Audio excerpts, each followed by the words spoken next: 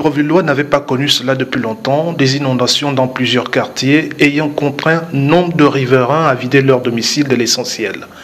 Le sujet fâche, colère et indignation se mêlent devant le spectacle si effrayant des dégâts causés par la remontée des eaux diluviennes. Pas. Tu ne peux pas dormir avec les deux yeux fermés. Faut toujours dormir avec un ouvert.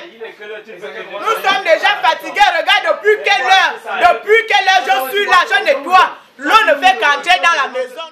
Les maisons encerclées par les eaux et leurs occupants presque pris de court pendant cette nuit cauchemardesque en cause des constructions anarchiques malgré les constantes interpellations du gouvernement sur les dangers liés aux installations sur les lits de rivières. Les gens sont emmerdés à cause de, l'eau quand il pleut.